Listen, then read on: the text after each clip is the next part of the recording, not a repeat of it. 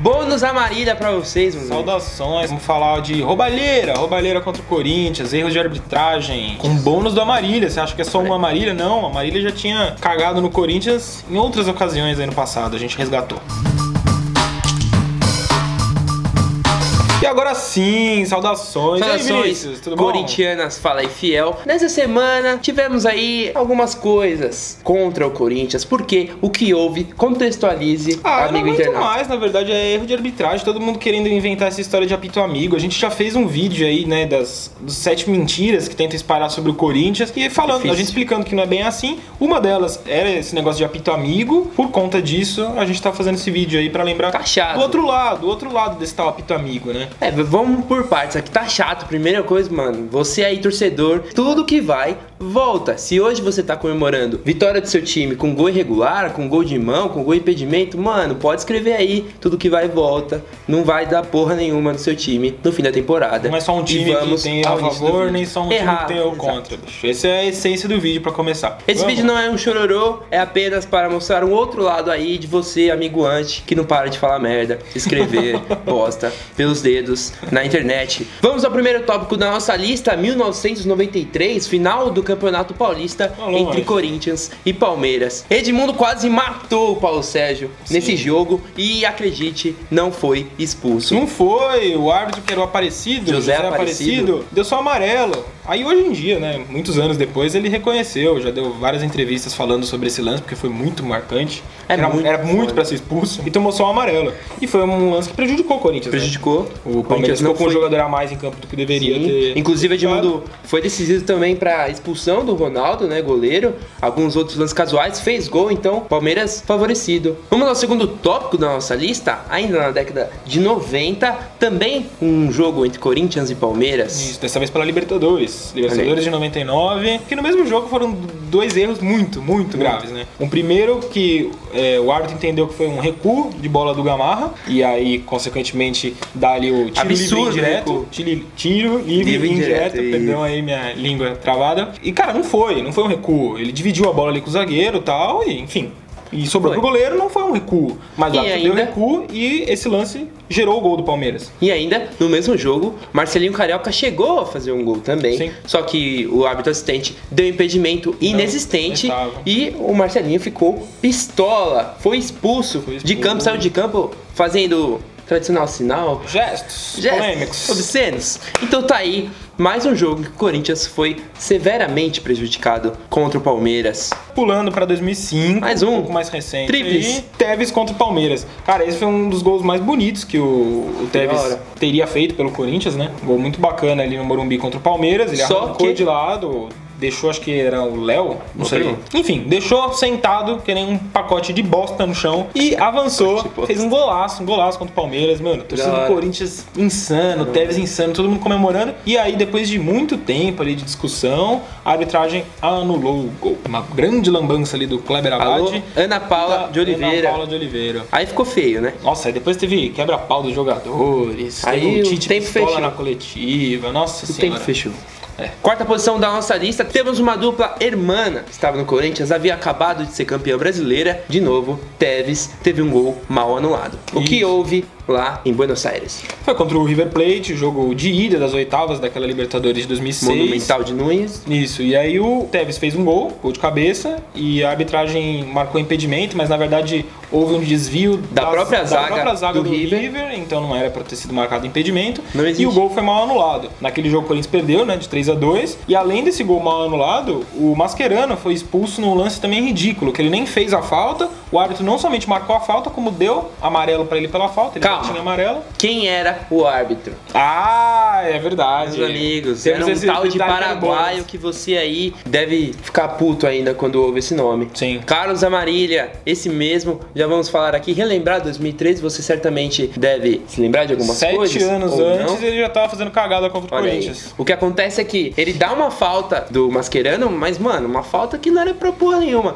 Mascherano, inclusive, ele argumenta que não fez falta. Ele já deu entrevista também recentemente, vocês vão ler aqui no meu timão. E o Mascherano até conta que esse lance mudou a carreira dele, porque ele ainda tinha um carinho jogando, mesmo pelo Corinthians, tinha um carinho pelo River Plate. E que depois desse jogo, que ele ficou puto, pistolou contra o árbitro, foi expulso. Ele disse que ele começou a olhar essa, essa relação dele com o River muito mais profissional. Então tá aí também um outro lado do Mascherano jogando esse jogo pelo Corinthians lá em Buenos Aires. Uma quantidade de cagada com a Marília já não fez, então zoado, relacionado ao Corinthians zoado. aí, né, gente? 2010, pulamos agora para 2010. Ronaldo, Ronaldo Fenômeno também foi vítima de erros de arbitragem, erros grosseiros de arbitragem. Dois jogava pelo Corinthians. No mesmo jogo. Dois gols mal anulados no mesmo jogo. Conte essa história aí pros nossos amigos internautas, Vinícius. A história é que teve dois gols mal anulados no mesmo jogo. Um jogo. Jogo contra o Guarani, fora de casa, Corinthians precisando da vitória ali, buscando o título brasileiro. Tava uma disputa o Fenômeno chegar- ali. chegou a fazer dois gols. Mas foi mal anulado, foram mal, mal anulados os dois. E aí um jogo que era pro Corinthians ganhar, ganhar tranquilo ele contra o Guarani, fora de Empatou sem casa. gols. Empatou sem gols, então perdeu dois pontos. E dois pontos muito valiosos, porque aquele campeonato, se chegou no final ali todo mundo embolado, por causa de dois pontos o Corinthians poderia ter sido campeão, o Corinthians poderia ter escapado da pré-Libertadores, que depois tomou no cu contra o Tolima lá, não sei quantos, dois, três meses depois. Parece besteira olhando pra trás, mas ué, são dois gols que poderiam ter mudado tudo. É meio louco Ainda assim, que, mas, como a gente abriu o vídeo aqui falando, se seu time é rebaixado, é campeão, não é por causa de um jogo ou outro. É, sim. né? Mas... Mas- o ponto é, fica uma. Era, já era a reta final do campeonato. Enfim, dois gols do mesmo jogador na mesma partida. Chato. Foi uma situação Prejudicou. chata ali. Sim, bem chato. Já falando em 2012, um próximo tópico da nossa lista, temos um clássico contra o Santos bastante marcante. Temos um triplo impedimento, ou melhor, impedimento triplo carpado. Que Tem tudo isso aí. Tem tudo isso aí, é verdade. Foi um lance bem polêmico. O Corinthians, recém-campeão da Libertadores, Foi. foi. visitar o Santos lá na Vila Belmiro pelo Campeonato Brasileiro daquele ano. E aí, o lance ali.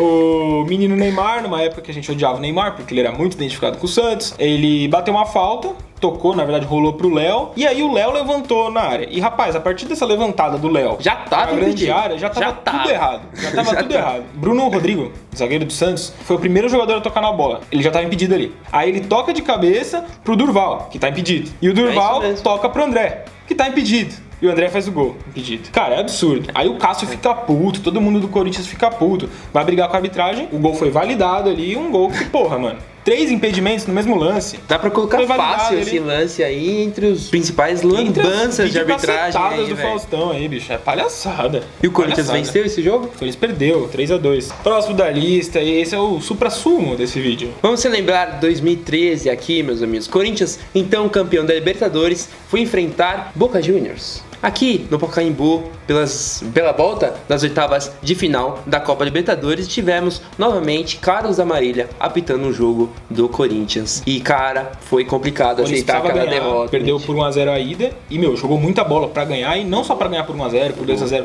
jogou pra atropelar o Boca. né? Então, assim, há erros de arbitragem e há erros de arbitragem cruciais que interferem diretamente no resultado de uma partida de de um futebol. campeonato. A gente tá Futebol. falando aqui, nesse caso especificamente, de quatro lances. Primeiro, tem uma mão do zagueiro Marim dentro da área, o Sheik assintosa a mão do cara, o Sheik pede o pênalti. O Sheik tá, o tomando, o Sheik tá tomando vantagem ali no Exato. lance e aí o... Como que é o nome do Antes de bater de ali? perna esquerda, Martim? zagueiro Marim. Marim. Tomando Põe a cu, mão, Marim. Não é queremos vôlei, Marim aqui, é não queremos vôlei. ninguém do Boca aqui. Então é foda, então o Sheik fica puto, já reclama, o Amarilha, além de não dar o pênalti, dá cartão amarelo ainda de um jeito Sim. ridículo, ridículo. Querendo dizer, meu, não vou aceitar a reclamação Exato. aqui não, já deu o cartão pro Sheik. Tá, até aí beleza. Marim era pra ser expulso. Não, era Corinthians. Cinco erros pra-. É, então.